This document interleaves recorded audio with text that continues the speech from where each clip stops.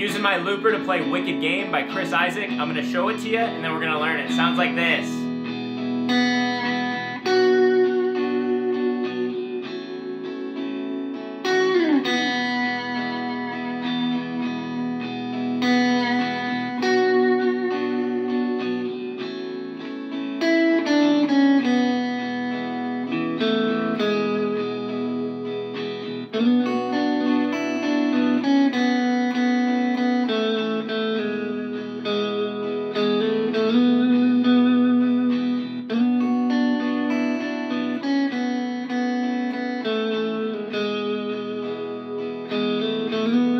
Like that, guys. Now let's learn it. So first and foremost, the backing track chords are B minor, a bar chord, an A, and an E.